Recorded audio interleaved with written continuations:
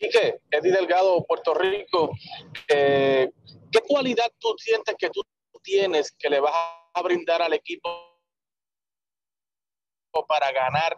Eh, y el hecho de que Alex Cora fuera el manager del equipo de Boston, ¿fue una decisión, fue un, factor determinante para tu decisión?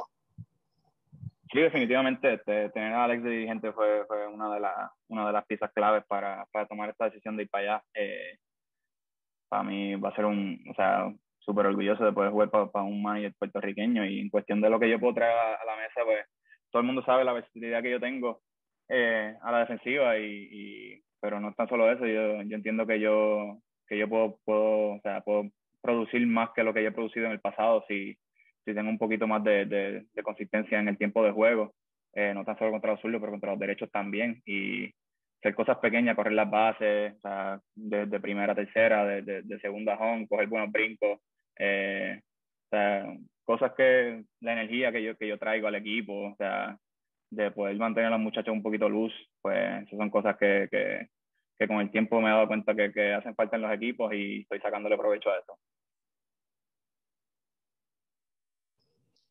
Quique, ahora que estás con el equipo de los Medias Rojas, eh, entras a una rivalidad con los Yankees.